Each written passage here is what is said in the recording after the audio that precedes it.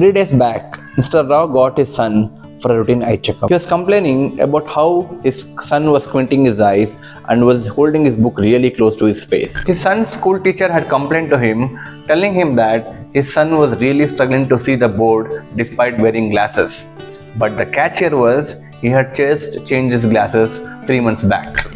As an eye surgeon, I really listened to his questions and his queries and then asked him a simple question Does his son rub his eyes?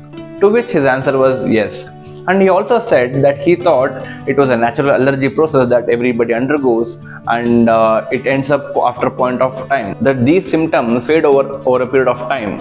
But I told him that these signs, including persistent eye rubbing, frequent change in spectacles, uh, photosensitivity towards light, and also preference to sit in the front uh, bench in the school, all these could point towards a condition called as keratoconus, a progressive condition wherein the front part of the eye bulges out causing impairment in the vision. Keratoconus is an inflammatory ectatic condition characterized by steepening and also the thinning of the cornea. For a moment, Mr. Rao panicked and looked visibly concerned.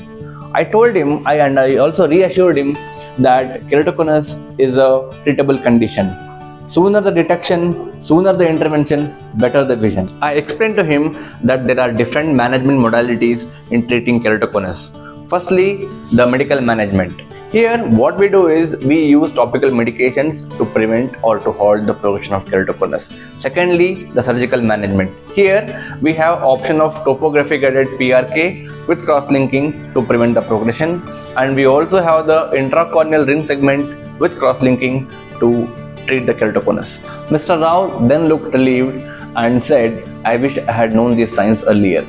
So, what I would want to bring to everybody's notice is if your child is having difficulty focusing, if your child's spectacles keep changing, and if at all if your child is having severe eye rubbing, it's time that you visit an ophthalmologist. Early detection and timely intervention are the key in treating keratoconus.